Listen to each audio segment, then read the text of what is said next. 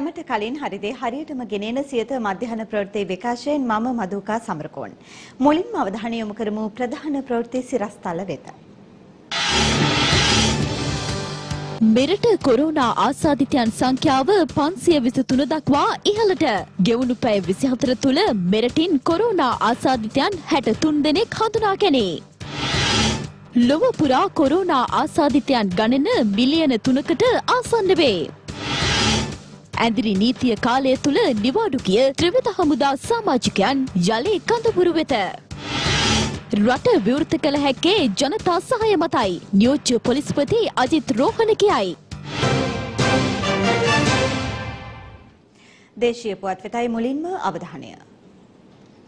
COVID-19 හෙවත් නව corona වෛරසය හේතුවෙන් අද වන විට ලොව පුරා සිදුව ඇති සමස්ත මරණ ගණන 2,6945ක් බවට පත් වී තිබෙනවා.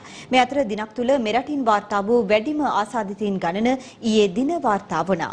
ඒ අනුව මෙරට COVID-19 හෙවත් නව කොරෝනා වෛරසය ආසාදිත පුද්ගලයන් සංඛ්‍යාව 523ක් දක්වා ඉහළ ගියා.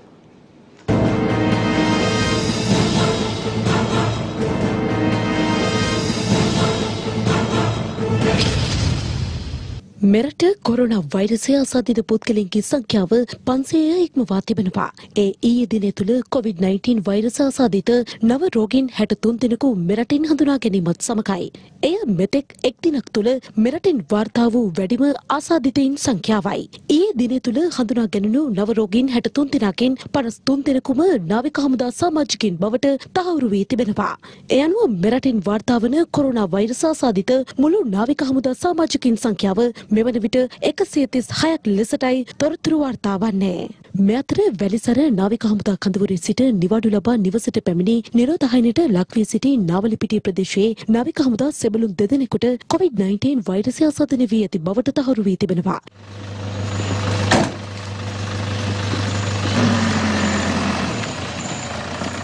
නවලපිටිය දෙකිද අලුත්ගම ප්‍රදේශය සහ නවලපිටිය ගොන්තෙන්නාව ප්‍රදේශයේ පදිංචිව සිටි නිරෝධහනයට ලක්වී සිටි නාවික හමුදා සෙබළුන් දෙදෙනෙකුයි මෙසේ ඊයේ දින රාත්‍රියේ නවලපිටිය මූලික රෝහලේ ගිලන් රථයකින් වැලිසර නාවික හමුදා කඳවුරු වෙත යොමු කිරීමට නවලපිටිය සෞඛ්‍ය වෛද්‍ය නිලධාරී කාර්යාලයේ මහජන සෞඛ්‍ය පරීක්ෂකවරුන් කටයුතු කරනු ලැබුවේ. අපි ගෙදර බලනවා බය වෙන්න එපා.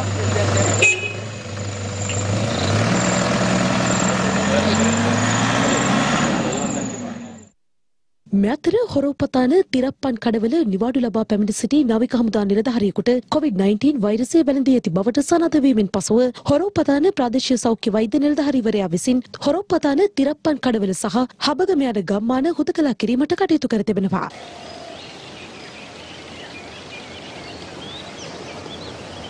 ඒ අනුව එම ගම්මානවලට ඇතුළුවීම සහ පිටවීම තාවකාලිකව අත්හිටුවා තිබෙනවා. එමෙන්ම ඉකුද්දා වැලිසර නාවික හමුදා කඳවුරේ සිට නිවාඩු ලබා පැමිණ සිටි කුලියාපිටිය හම්මලෙවර ප්‍රදේශයේ නාවික හමුදා සාමාජිකයෙකුට COVID-19 වෛරසය ආසාදනය වීම හේතුවෙන් එම පුද්ගලයා දැඩි සබඳතා පැවැත් වූ කුලියාපිටිය හම්මලෙවර ප්‍රදේශය සම්පූර්ණයෙන්ම වසා දැමීමට කුලියාපිටිය මහජන සෞඛ්‍ය පරීක්ෂක නිලධාරීවරුන් කටයුතු කර තිබෙනවා.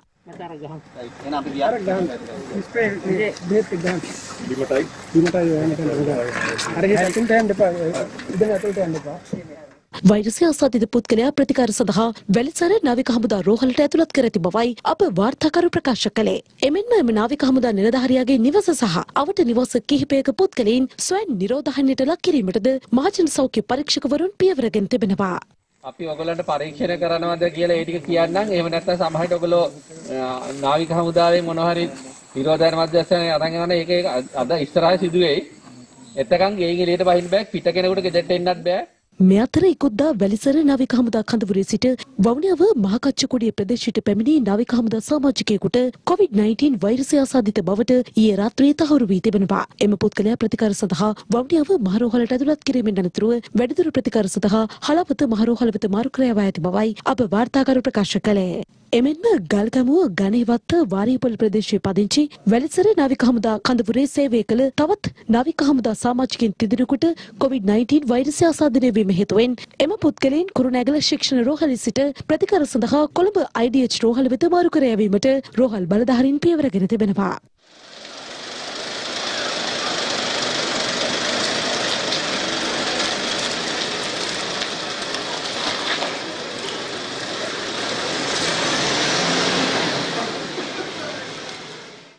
මේ අතර හුදකලා කරන ලද වැලිසර නාවික හමුදා කඳවුරු පරිශ්‍රය තුර නිරෝධායන ක්‍රියාවලින් සහ ආසාදිත පුද්ගලයන් ප්‍රතිකාර සඳහා යොමු කිරීම තවදුරටත් ක්‍රියාත්මක බවයි නාවික හමුදාව ප්‍රකාශ කළේ.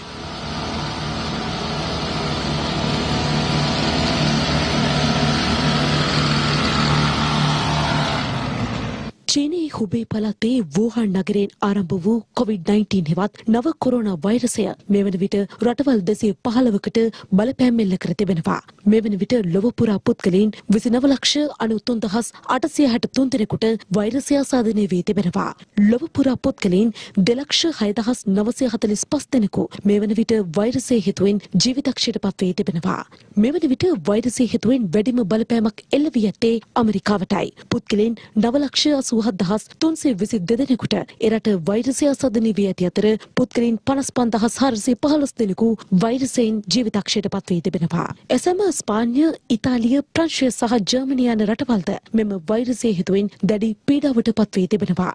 මෙවන විට වෛරසය ආසාධනය වී ලොවපුරා සුවය ලැබූ සංඛ්‍යාව අටලක්ෂ හැටහය දහස් තුන්සය පහළවක් ලෙසටයි සටහන් වන්නේ. නිවාඩු ගොස් සිටින ත්‍රිවිධ හමුදා නිලධාරීන් යළි කඳවුරු වෙත ගෙන්වා ගැනීම පහසු වන පරිදි අද දිනේදී දිවයින පුරා ඇඳිරි නීතිය ක්‍රියාත්මක කිරීමට රජය පියවරගෙන තිබෙනවා. නිවාඩු ගොස් සිටින ත්‍රිවිධ හමුදා නිලධාරීන් යළි කඳුරු වෙත ගෙන්වා ගැනීම පහසු වන පරිදි අද දිනේදී දිවයින පුරා ඇඳිරි නීතිය ක්‍රියාත්මක කිරීමට රජය තීරණය කර තිබෙනවා. මීට පෙර සැලසුම් කර තිබුණේ දිස්ත්‍රික්ක හතරකට හැර සෙසු දිස්ත්‍රික්ක තුළ ඇඳිරි නීතිය අද අලුයම පහට ලිහිල් කිරීමටයි. කොළඹ ගම්පහ කළුතර සහ පුත්තලම දිස්ත්‍රික්ක හැර සෙසු දිස්ත්‍රික්කවල ඇඳිරි නීතිය හෙට අලුයම පහට ඉවත් කොට එදිනම රාත්‍රී අටේ සිට යළි ක්‍රියාත්මක කරන බවයි ජනාධිපති මාධ්‍යංශය නිවේදනය කළේ. කළේ. මේ අතර ඇඳිරි නීතිය පනවා ඇති කාල සීමාවක් තුල උවද ඇඳිරි නීතිය කඩකිරීම සහ නීති විරෝධී ලෙස මත්පැන් ජාවාරමෙහි නිරත පුද්ගලයන් සොයා පොලිසිය ඇතුළු ආරක්ෂකාංශ මෙහෙයුම් දියත් කර තිබෙනවා. ඇඳිරි නීති බලපත්‍රයක් සහ අත්‍යවශ්‍ය සේවා බලපත්‍රයක් නොමැතිව නගරයට පැමිණෙන ජනතාව සහ රියදුරන් අත්අඩංගුවට ගැනීමට හැටන් පොලිසිය කටයුතු කර තිබෙනවා. හැටන් පොලිසියේ රථවාහනංශයේ නිලධාරීන් සහ රාජකාරියේ යොදවා ඇති පොලිස් නිලධාරීන් නගරයට පැමිණෙන රථවාහන සහ පුද්ගලයන් දැඩි පරීක්ෂාවකට ලක් කරන අතර සෞඛ්‍යාරක්ෂක ක්‍රමවේද අනුගමනය නොකරන පුද්ගලයන්ටද අවවාද කිරීමට පොලිසිය පියවරගෙන තිබෙනවා.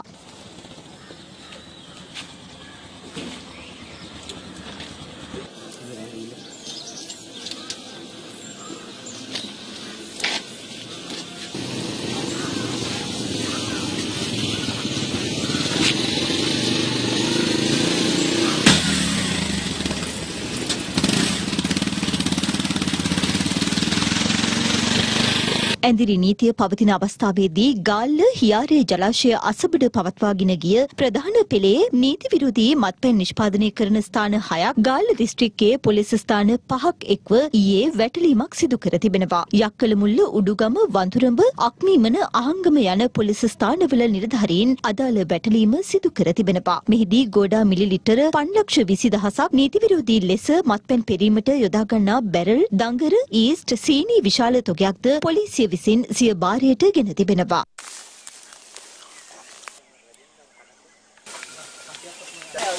ඇඳිරි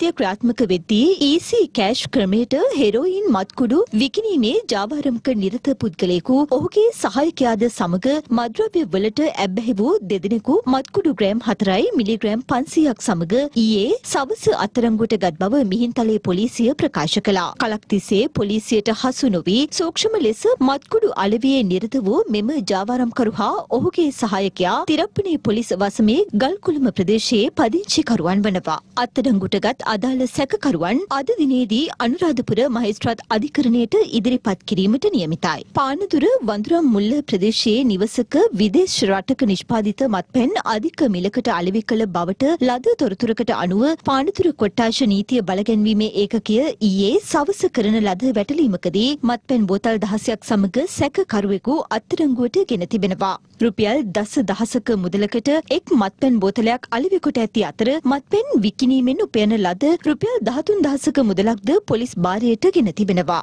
වැල්ලවාය පොලිස් බල ප්‍රදේශයට අයත් වෙහෙරගල යාය ප්‍රදේශයේදී නීති විරෝධී මත්පැන් නිෂ්පාදනයෙහි නිරත වූ පුද්ගලයන් තිදෙනෙකු අත්අඩංගුවට ගැනීමට වැල්ලවාය පොලිසිය අද පෙරවරුවේ සමත් වුණා. සැකකරුවන් වයස අවුරුදු 32, 52 සහ 56 යන වයස්වල පසුවන්නන් වන අතර පොලිස් භාරයට ගෙන ඇති නීති විරෝධී මත්පැන් බෝතල් සංඛ්‍යාව 71ක්. මිනුවන්ගොඩ නිල්පනාගොඩ ප්‍රදේශයේ කුලී නිවසක පවත්වාගෙන ගිය නීති විරෝධී මත්පැන් ස්කාගාරයක් මිනුවන්ගොඩ පොලිස් ස්ථානයට ලද තොරතුරක් මත ඊයේ රාත්‍රී 10ට පමණ වටලා තිබෙනවා. මිලි ලීටර 500 ජල ටැංකි 7ක පුරවා තිබූ ගෝඩා විශාල ප්‍රමාණයක් මෙහිදී විනාශ කර තිබෙනවා. මෙම ගෝඩාවල වටිනාකම ලක්ෂ 10ක් පමණ වන බවයි මිනුවන්ගොඩ පොලිස් ස්ථානාධිපතිවරයා ප්‍රකාශ කළේ. මෙහිදී අත්තරංගුවටගත් සැකකරුවා අධිකරණය හමුවට ඉදිරිපත් කිරීමට නියමිතයි.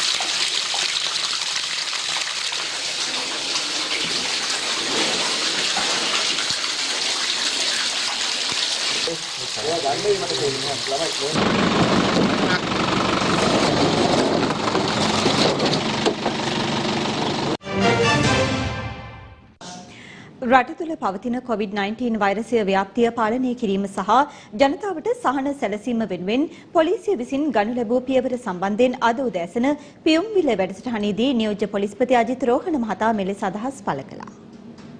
එක පැත්තකින් මිනිස්සුන්ට පෙනෙන කාර්යභාරයක් තියෙනවා නොපෙනෙන කාර්යභාරයක් තියෙනවා. දැන් ඇත්තටම වෙන රටවල් වල සෞඛ්‍යාංශ තමයි මේ සඳහා පූර්ණ මැදිහත් වීමක් වුණේ සෞඛ්‍ය සහ පළාත් පාලන ආයතන.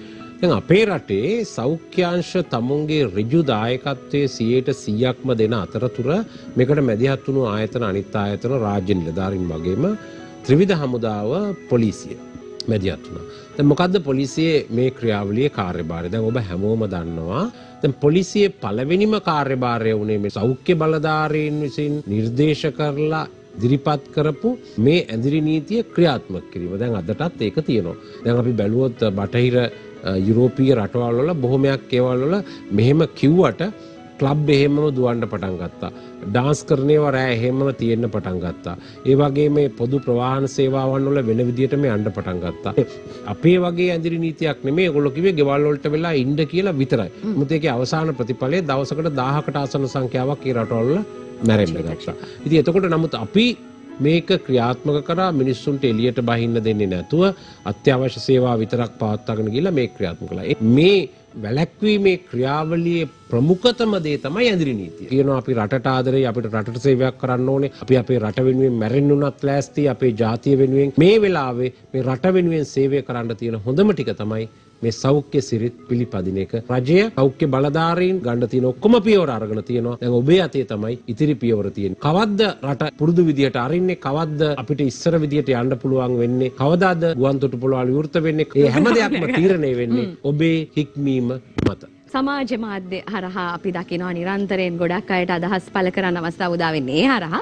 මහර විහිළු තහළු දැක්කහම ඔබතුමාට පෞද්ගලිකව දැනෙන අදහස සහ මේ ප්‍රසිද්ධිය සම්බන්ධයෙන් පෞද්ගලිකව ඔබතුමාගේ අදහස් අපි දැනගන්න කැමතියි. කයිති ඇත්තට මට නම් ගේ මේ මුහුණු පොතේ එක මේ කවුන්ට් එකක්වත් නැහැ. කවුන්ට් හයක් හතක් තිබුණේ එකක්වත් මගේ නෙමෙයි. මම කොහෙද හිටියේ මට අසනීප වුණාද? මට කිසිම අසනීපයක් නම් තිබුණේ නැහැ. හොයලා බැලුවා ඒ ඒ ඒ හැම ප්‍රේක්ෂකයෙකුටම මං ගැන හොයලා බලපු මුහුණු පොතේ වෙනත් සමාජ මාධ්‍ය ජාලාවල අපේ මාධ්‍ය හිතවතුන් හැම කෙනාටම මම ස්තුතිවන්ත වෙනවා. මගේ තියෙන කක් හරි හැකියාවක් එක්ක මිනිස්සු මට කරන ගෞරවය මේ අපේ සමස්ත පොලිසියට කරන ගෞරවයක් හැට සලකලා අපේ පොලිස් සේවයේ අභිමානය වර්ධනය කරන්න මේක තමයි ඒ අභිමානය ඇති කරලා පොලිසියයි ජනතාවයි අතර තියෙන දුරස්ථභාවය නැති කරලා හැමදාම මේ රටේ නීතිය යුක්තිය සාමය රජයන සමාජයක් ඒ වගේම දැන් අලුත් කෑල්ල එකතු කරලා සෞඛ්‍ය සම්පන්න සමාජයක් ඇති කිරීම වගකීමක් කරන්න තමයි මම බලාපොරොත්තු පවතින කොරෝනා වෛරසය මැඩ පැවැත්වීමට දිවයින පුරා විවිධ ආරක්ෂක වැඩසටහන් ක්‍රියාත්මක කර තිබෙනවා.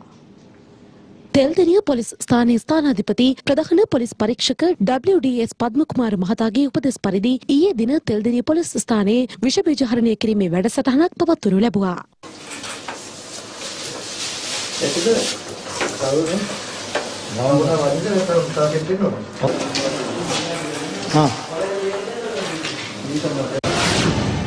කොරෝනා ආසාදිතයින්ට ප්‍රතිකාර කිරීමේ මධ්‍යස්ථානයක් වන මඩකලපුව කාතන්කුඩි මූලික රෝහල අවට විෂබීජ හරණය කිරීම කාතන්කුඩි නගර සභාව කාතන්කුඩි සෞඛ්‍ය කාර්යාලයේ ඒකාපත්ව සිදු කර තිබෙනවා.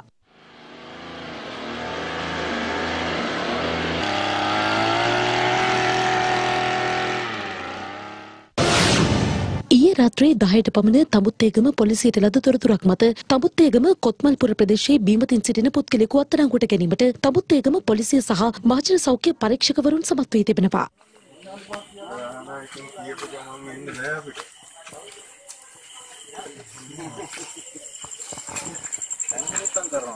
අදාළ පුද්ගලයා මත්පැන් පානය කර රාත්‍රී කාලයේ ගමපුරා නිවෙස්වල ජනතාවට බාධා වන ආකාරයට සැරසැරීම මෙන්ම කොළඹ ප්‍රදේශයේ රැකියාවේ නිරතව සිට පැමිණ ඇති බවත් ප්‍රදේශීය ජනතාව පොලිසියට කළ දැනුම් දීම මතයි මෙලෙස අත්අඩංගුවට ගැනීමට කටයුතු කර ඇත්තේ. දැන් අවධානය රටවට අපවත් කිහිපයක් වෙතයි. ත්‍රවිධ හමුදාවේ සාමාජිකයින්ගේ නිවාඩු අවලංගු කිරීමත් සමග ඔවුන් යළි සිය රාජකාරීන්ට වාර්තා කිරීම සඳහා කඳවුරු වෙත පැමිණෙනු මෙලෙස දක්නට ලැබුණා.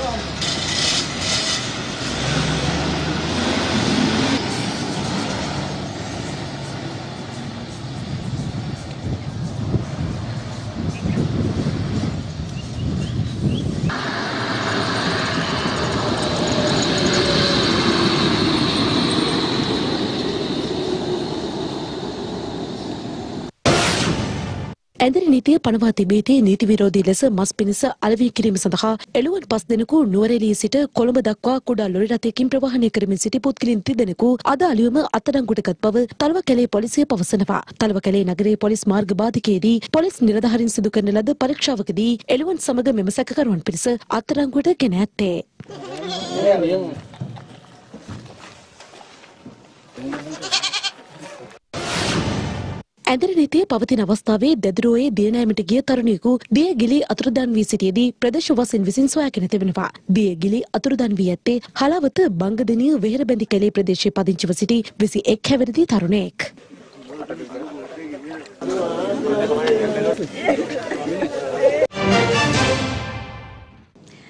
පාර්ලිමේන්තුව යළි කැඳවීමේ කිසිදු අවශ්‍යතාවයක් නොමැති බව අමාත්‍ය සෙම් චන්ද්‍රසේන මහතා පවසනවා. ඒ අනුරාධපුර ප්‍රදේශයේදී මාධ්‍ය වෙත අදහස් පළ කරමින්. පාර්ලිමේන්තුව කිසිසේත්ම ආයක ඇඳවන්න බෑ. පාර්ලිමේන්තුව කැඳවන්න මේ හිටපු මැති ඇමතුරු ටික කටයුතු කරන්නේ වෙන හේතුවක් නිසා නෙවෙයි. නිකන් ආශාවට වගේ ගිහිලා පාර්ලිමේන්තුවේ වාඩි වෙන්න. අපි දන්නවා ඊළඟ මැතිවරණයේදී ඔය පාර්ලිමේන්තුව කැඳවන්න කියන අයට ආය පාර්ලිමේන්තුවේ එන්න බෑ කියන එක ඒගොල්ලෝ දන්නවා. ඒ නිසා මේ මාස දෙක තුනේ හරි පාර්ලිමේන්තුවේ වාඩි වෙන්න පොඩි ආසාවක් තියෙනවා. ඒ වගේම අවුරුදු 5 ගත කරා ගන්න බැරි වෙච්ච මන්ත්‍රීවරුන්ට විශ්‍රාම වැටුප හම්බ වෙන්නේ නැහැ. ඒ නිසා මේ විශ්‍රාම වැටුප ලබා ගන්න අදිෂ්ඨානින් ඒගොල්ලෝ කතා කරනවා. එහෙම නැතුව කොරෝනා වෛරසය මේ වසංගතය නැතිකරන්න පාර්ලිමේන්තුවේ ඔය ඉන්න අය මොනවද දන්නේ සකස් කරලා තියෙන්නේ මොන හරි යෝජනා තියෙනවද දන්නේ එහෙම කිසිම දෙයක් නැහැ මේගොල්ලෝගේ තියෙන පටු අරමුණ තමයි ආය පාර්ලිමේන්තුවේ මාස දෙක තුන වාඩි වෙලා ඉන්න ඒ වගේම අර විශ්‍රාම වැටුප ලබා ගන්න සහ අපි මේ කොරෝනා වෛරසය වසංගතය මැඩ පැවැත්වීම ක්‍රමානුකූලව කරන්න යනවා මේක අවුල් කරන්න. මේක පාර්ලිමේන්තුව කැඳවලා මේ ගමේ වැඩසටහන අවුල් කරලා ආයෙත් ඒගොල්ලෝගේ කාලේ වාගේ මේ රට විනාශයෙන් විනාශයට පත් කිරීමේ තියෙන අරමුණෙන් පමණයි කටයුතු කරන්න කියන එක විතරයි අපිට කියන්න තියෙන්නේ. මැතිවරණය සම්බන්ධයෙන් ශ්‍රේෂ්ඨාධිකරණයේ මතය විමසිය යුතු බව හිටපු පාර්ලිමේන්තු මන්ත්‍රී පී හැරිසන් මහතා පවසනවා. ඒ අනුරාධපුර ප්‍රදේශයේදී මාධ්‍ය වෙත අදහස් පළ කරමින්. ඉවස්ථානුකූලව අවසාන තීන්දුව ගැනීමේ බලය තියෙන ශ්‍රේෂ්ඨාධිකරණයට නම් ශ්‍රේෂ්ඨාධිකරණයේ මතය විමසලා තී- එන තීන්දුවකට ගරු කරන්න පුළුවන්. ඒගොල්ලන්ට අද ප්‍රශ්නයක් වෙලා තියෙන්නේ 19 වෙනි ආණ්ඩුක්‍රම ව්‍යවස්ථාවෙන් ස්වාධීන මැතිවරණ කොමිසම පත් කරපු එක තමයි ප්‍රශ්නයක් වෙලා තියෙන්නේ. ඒක නිසා ඒගොල්ලන්ට හිතූ දේවල් අද කරන්න බැරි වෙලා තියෙනවා. ඒ නිසා මම කියන්නේ පාර්ලිමේන්තුව ආණ්ඩුක්‍රම ව්‍යවස්ථාවේදී යම් යම් අඩුපාඩුකම් වෙලා තියෙනවා නම් ඒක උල්ලංඝනය වීම වෙලා තියෙනවා නම් අපිට යන්න තියෙන ඉහළම තැන තමයි ශ්‍රේෂ්ඨාධිකරණය. ඒකට ශ්‍රේෂ්ඨාධිකරණයට යන්නේකට කාටවත් විරුද්ධ වෙන්න බෑ. ඒ තීන්දුවට අනුව තමයි කතාන හිටපු කතානායකතුමත් කිව්වේ ඒ තීන්දුවට අනුව කටයුතු කරන්න ලෑස්ති කියලා. එහෙම නැතුව අපිට මේ හදිසිය පාර්ලිමේන්තුව කැඳවගෙන ජනතාවට තවත් නැති අර්බුදයක් ඇති කරන්න අපිට අවශ්‍යතාවයක් නැහැ. අපි නීතියානුකූලව தත්ත්වය පෙන්නලා දෙන්න අපේ නීතිඥවරුත් ඒ වගේම පාර්ලිමේන්තුවේ සියලු පක්ෂවල පක්ෂ නායකිනුත් යම් යම් තීන්දුව අරන් තියෙනවා. ඒ ඒ අනුව අපි බලමු ඉදිරියේදී මොකද වෙන්නේ කියලා. මැතිවරණය පැවැත්වීම සම්බන්ධයෙන් සියලු පක්ෂ එක්ව ජාතික එකඟතාවයකට පැමිණිය යුතු බව හිටපු පාර්ලිමේන්තු මන්ත්‍රී පූජ්‍ය අතුරුලිය රතන හිමියන් පවසනවා. ඒ බියගම ප්‍රදේශයේදී මාධ්‍ය වෙත අදහස් පළ කරමින්. රටේ මේ වෙනකොට පවත්නා තත්ත්වය අපි හැමදෙනාම දන්නවා කොරෝනා වෛරස් එක නිසා මුළු මහත් ශ්‍රී ලංකාවත් සමස්ත ලෝකයක් අතිවිශාල පීඩනයකට ලක් වෙලා තියෙනවා. ඉතින් මේ පීඩා මැද්දේ කෙසේ හෝ ඡන්දය තියලා බලය ලබා ගැනීම නෙවෙයි. පාර්ලිමේන්තුව පිහිටුවයි කියලා අපට උත්තරයක් හම්බෙන්නේ නැහැ. මේ වෙලාවට ඔබින මේ වෙලාවට ගැළපෙන ප්‍රතිපත්තියක් අපි හදා ගන්න ඕන. අපි ජනාධිපතිතුමාට බොහොම පැහැදිලිව කිව්වා සීළු පක්ෂ සමග සාකච්ඡා කොට අපි ජාතික එකඟතාවයකට යමු කියලා. අපේ රට ගොඩනගන ඉදිරි ජාතික සැලැස්ම මොකද්ද? ආණ්ඩු ක්‍රම ව්‍යවස්ථාවේ කළ යුතු වෙනස්කම් මොනවද? කෙටි කාලීනව මේ මොහොතට මුහුණ දීම සඳහා කළ හැකි දේවල් මොනවද යන්න පිළිබඳව සම්මුතියක් ගොඩනගා ගමු කියලා. වත්මන් තත්ත්වයේ හමුවේ මැතිවරණයක් පැවැත්වීම කිසි විටකත් අනුමත නොකරන බව ජාතික වෘත්තීය සමිති මධ්‍යස්ථානයේ ජාතික සංවිධායක වසන්ත සමරසිංහ මහතා පවසනවා. ඒ අනුරාධපුර ප්‍රදේශයේදී පැවති මාධ්‍ය හමුවකට එක්වෙමි. දැන් ජනතාවට ඇඳිරි නීතිය ඉවත් කරපුවාම පොලිමේ ඇවිල්ලා කඩවල බඩු ගන්න ගියා. පොලිමේ ඉඳලා වැඩ කරගත්තා වගේ. ඡන්දෙත් ආපුවාම පොලිමේ ඇවිල්ලා ඡන්දෙ දාන්න පුළුවන්ලු මේ තමයි ආණ්ඩුවේ මැතිවරණ වුණ. අපිට තියෙන ප්‍රශ්නේ මේ ඡන්ද තියන්න ගියොත් එහෙම දැන් දිස්ත්‍රික්ක ගානකට අප්‍රේල් 20 වෙනකොට ඉවර වෙයි කියලා හිතපු එක පහුගිය දවස් 4ට 5ට 150කට 200කට ආසන්න රෝගීන් වැඩි වුණා. දැන්වත් තේරෙන්නේ නැද්ද මේ අයට මේ ඡන්ද තියන්න පොරබදන එක වෙනුවට මේ කොරෝනා පරද්දන්නයි පොරබදන්න ඕනේ කියලා. ඉතින් පොලිමේ ඇවිල්ලා ඡන්ද නෙමෙයි තියන්න වෙන්නේ. පොලිමේ කනත්තට යන්න වෙන්නේ ඡන්ද තියන්න ගියොත් එම රටේ. ඒ නිසා මැතිවරණ තියෙන එක පැත්තක තියලා මිනිස්සුන්ගේ මේ නිරෝධායන කටයුතු මේ මේ රටේ ජනතාව මේ රෝගය වැළැක්වීම රෝගය පැතිරීම වළක්වා ගැනීම සඳහා මැදිහත් වීම ආණ්ඩුව කරන්න ඕන. නිසා බලය දැන් තියෙනවා නම් ඕක තියාගෙන කරුණා කරලා ජනතාව මේ සොහොනට දක්වන පොලිම හදන්නේ නැතුව කරුණා කරලා මිනිස්සුන්ගේ ආරක්ෂාව තහවුරු කරන්න. ඒ නිසා ඒ එක එක්කෙනා එක එක විදිහට එක ඒවා කියනවා. සමහරුන්ට මේක ඌමනා වෙලා තියෙන්නේ මේ කොහොම හරි කොරෝනා ආශ්‍රමයේ මැතිවරණ තියාගන්න. අපි කියන්නේ කොරෝනා පරාජය කිරීමකින් තොරව අපිට මේ වැඩේ කරන්න ගියොත් එහෙම කනත්තට යන පාර තමයි පළල් කරන්න වෙන්නේ. අපේ රටේ මිනිස්සුන්ගේ අවදාන මේ තරමට වැඩි වෙමින් තියෙන්නේ. එම පුවතත් සමගින් සියත මධ්‍යහන ප්‍රවෘත්ති විකාශය නිමාවට පත්වනවා. තවත් උණුසුම් පුවත් දැනගැනීම සඳහා පිවිසෙන්න www.siyathanews.lk අපගේ වෙබ් අඩවිය වෙත. අප නැවතත් හමුවන්නේ සවස් 6 අපගේ ප්‍රධාන ප්‍රවෘත්ති විකාශයත් සමගින්. ඔබට සුබ දවසක්.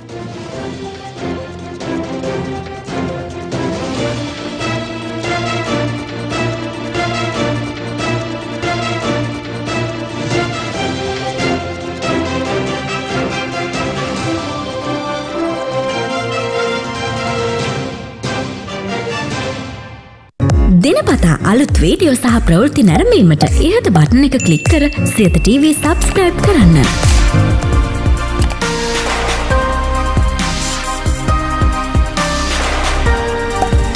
අලුත් වීඩියෝ ගැන මුලින්ම දැනගන්න මෙම සීනුව ක්ලික් කරන්න.